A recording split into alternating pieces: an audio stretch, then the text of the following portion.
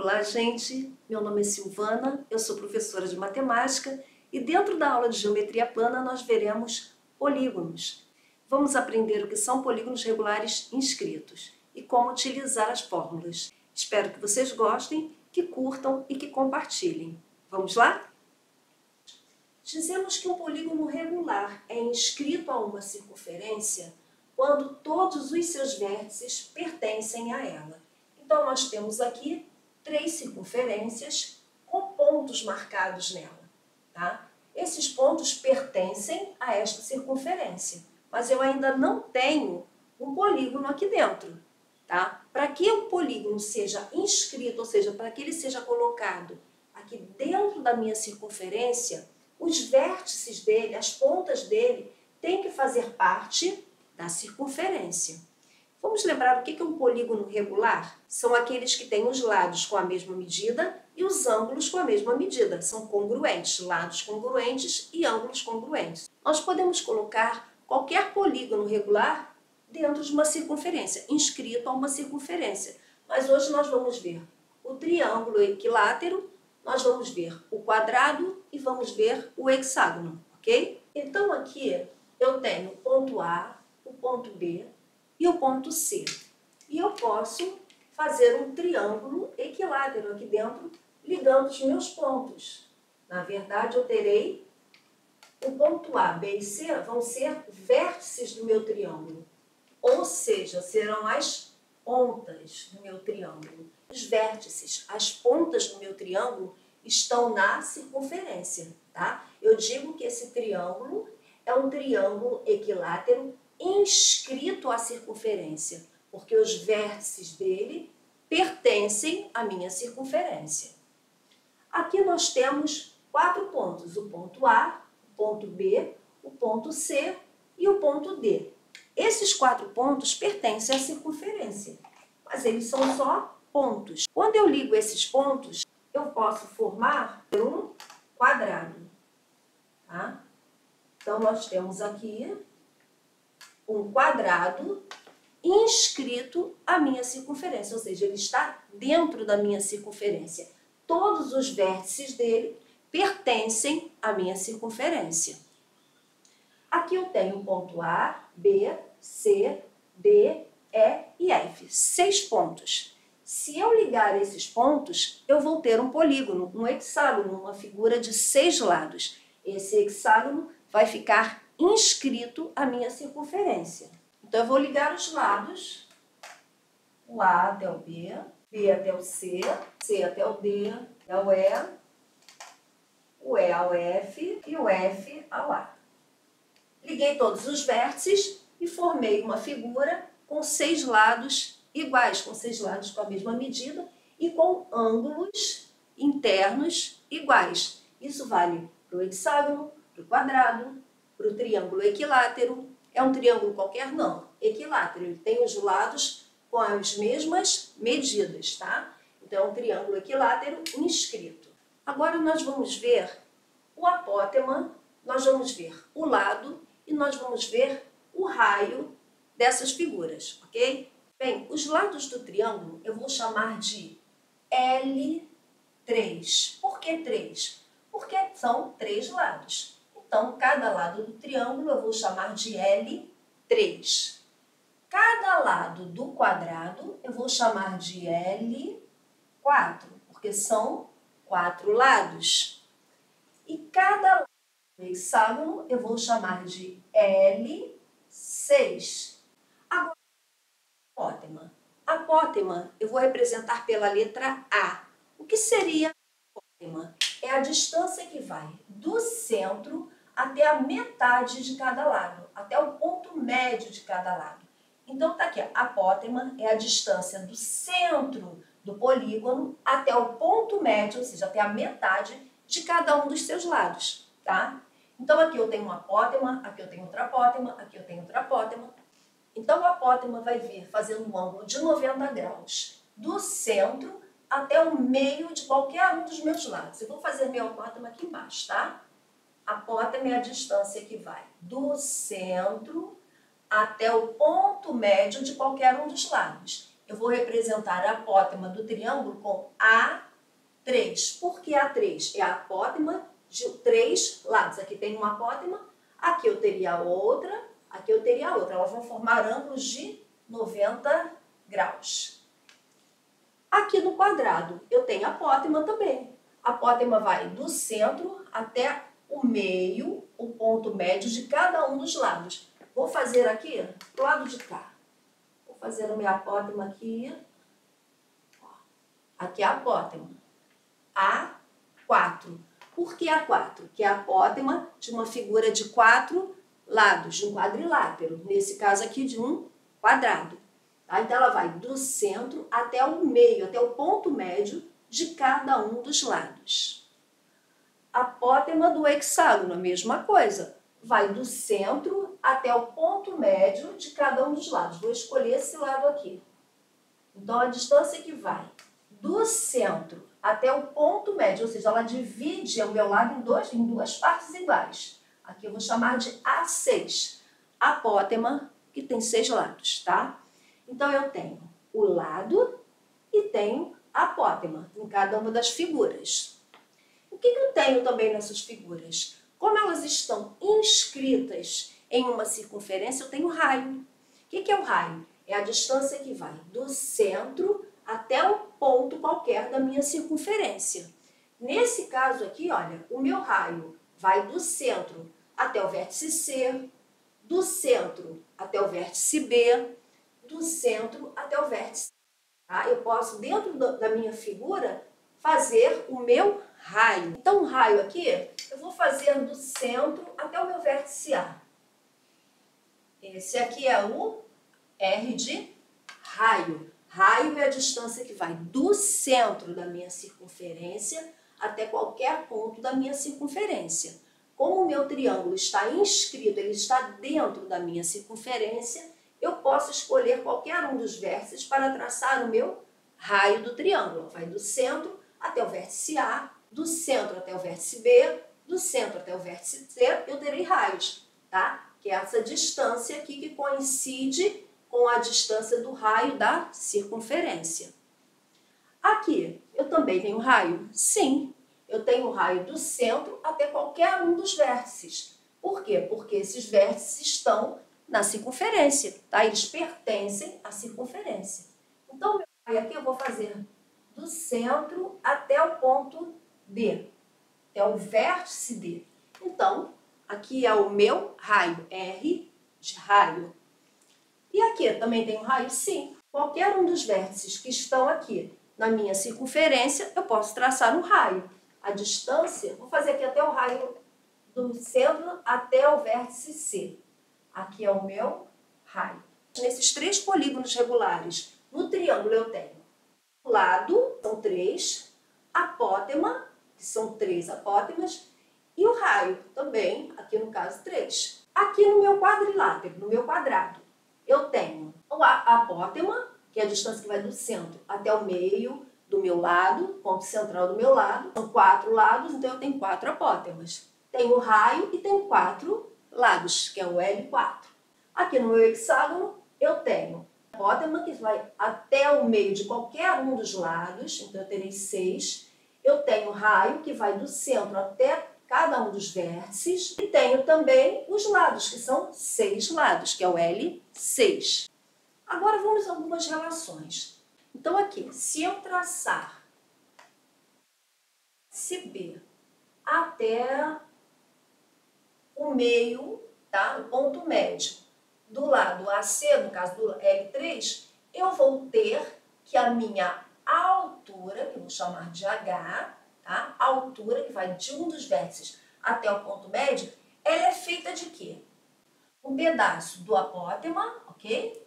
E mais dois pedaços que equivalem ao raio. É como se eu dividisse aqui em três pedaços. Então, aqui é o raio e aqui embaixo é o apótema. Então, eu posso dizer que a altura do triângulo é igual ao apótema mais o raio, certo?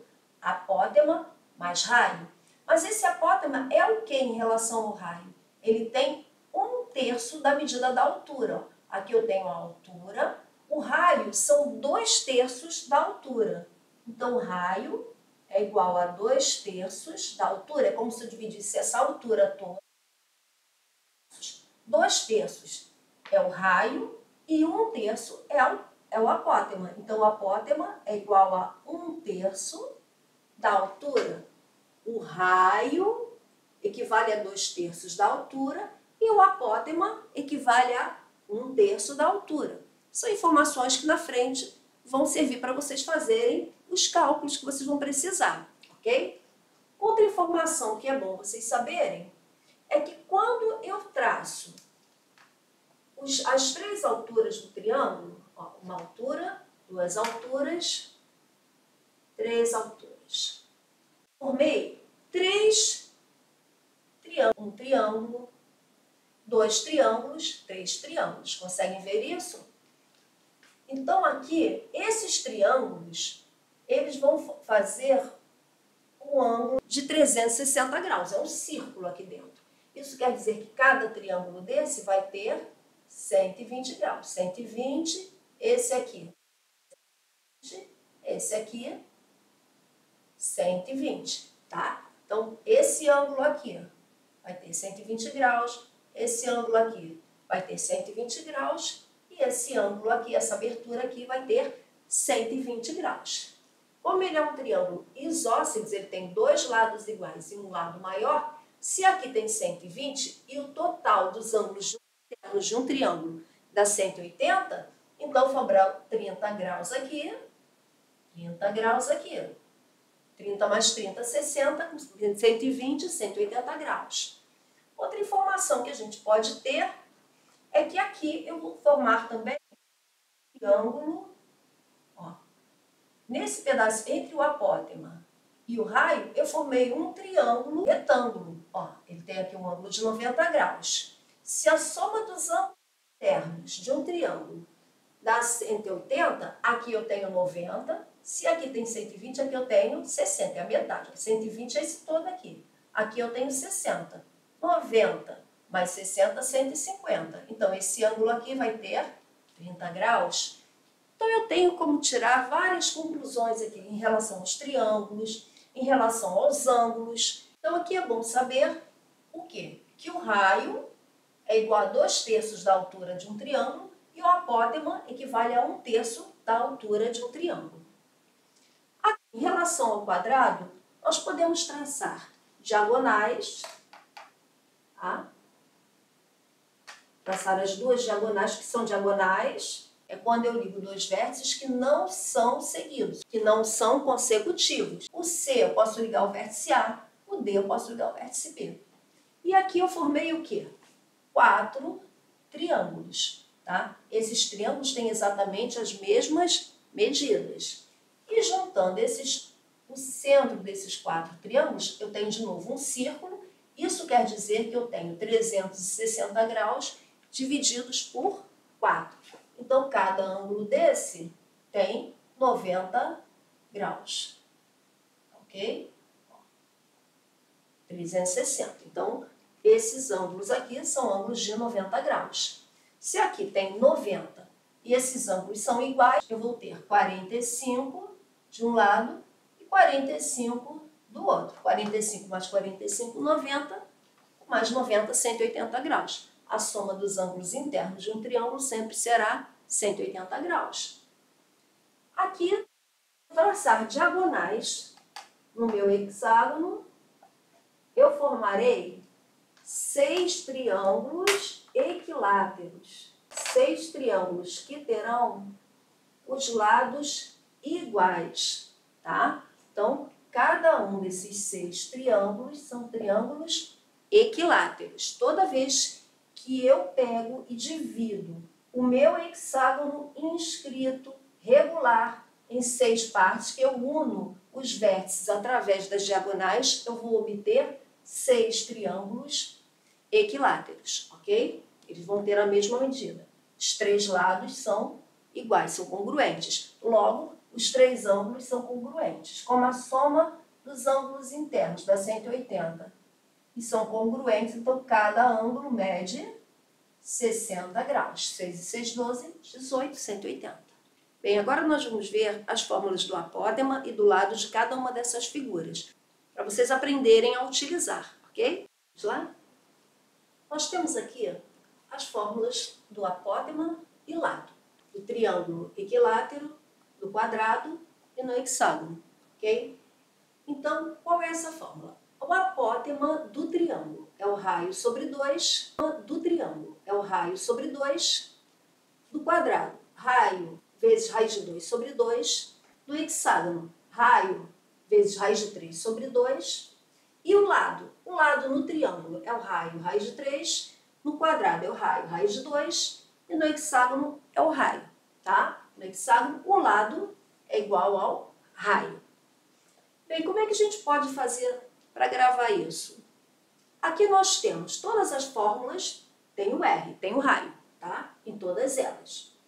Em todas as fórmulas do apótema são divididos por dois, porque lembra que o apótema divide o lado em duas partes? Lembra disso? Então, todas as fórmulas do apótema são divididas por dois, é sobre dois. E aqui nós temos o 1, aqui nós temos o 2 e aqui nós temos o 3. Então, nós temos 1 vezes o R, que é o raio sobre 2, o raio vezes raiz de 2 sobre 2, o raio vezes raiz de 3 sobre 3. Então, fica 1, 2 e 3, o 2 e o 3 na raiz, tudo sobre 2, porque estamos falando de apótema, que divide em duas partes, e todas as fórmulas a gente vai multiplicar pelo raio. E o lado, 3, 2 e 1, tá? É o raio vezes raiz de 3, é o raio vezes raiz de 2, e o raio vezes 1, que é o próprio raio. Então, 1, 2, 3, 3, 2, 1. Os de cima são sobre 2 porque é apótema, tá? Apótema é sempre sobre 2, e todos eles dentro da raiz. Uma forma de vocês gravarem, vocês acharem outra forma, tá? Bem, aqui nós temos um quadrado está inscrito em uma circunferência de área de 9π. Calcule o lado e o apótema. Então, o que, que eu preciso saber? Aqui está me falando a área da circunferência. Qual é a área da circunferência? A área da circunferência, a área da circunferência é igual a π vezes r ao quadrado, né? Essa é a área da circunferência. Então, nós vamos usar essa fórmula aqui para chegarmos ao lado e ao apótema desse quadrado. Tá falando de quadrado? Ó, é essa fórmula aqui. No quadrado é tudo 2. Tanto o lado quanto o apótema é tudo 2, não tem outro número, tá? É raio vezes raiz de 2 sobre 2 e o lado é o raio vezes raiz de 2. Então, como é que eu vou fazer assim? A área é π vezes r ao quadrado. Mas quem é a área? Ele me disse que a área é 9π. Então, 9π que a área é igual a π vezes o r, o raio ao quadrado. E do outro, cortei. Então, o raio ao quadrado é igual a 9, o raio é igual a raiz de 9, o raio é igual a 3. Raiz de 9, 3 ao quadrado. Então, descobri o raio. Descobri o raio, acabou. Por quê? Porque eu vou botar na fórmula. Ele quer saber o quê? O lado. Qual é o lado do quadrado. É raio vezes raiz de 2. Então, o que, que eu vou fazer aqui? Quem é o raio? 3. Então, o lado vai ser igual ao raio, que é 3, raiz de 2. Pronto. O lado do quadrado, L4, é igual a 3, raiz de 2. Pronto, achei a primeira resposta. Falta achar o quê? Apótema. Apótema do quadrado é igual ao raio, raiz de 2, sobre 2. A apótema vai ser igual. Quem é o raio? 3. 3, raiz de 2, sobre 2. Apótema do quadrado. Acabou. Tá aí a resposta. Achamos o lado, achamos o apótema. Então, para a gente poder calcular, tendo a fórmula, tranquilo. Se não tiver, tem como deduzir. Tá? Dá um pouquinho de trabalho, mas a gente tem como deduzir cada uma dessas fórmulas. Vocês conhecendo direitinho como é uma figura regular, tá? Dentro de uma circunferência, como ela funciona, quais são as relações, sabendo que é apótema, sabendo que é lado, sabendo que é altura, sabendo que é uma diagonal, sabendo que a soma dos ângulos internos de um triângulo dá 180 graus, que quando a gente tem um ângulo escrito, essa soma aqui dá 360, tá? Então, todas elas aqui vão dar 360 graus. Aí você tem como achar cada ângulo aqui de dentro.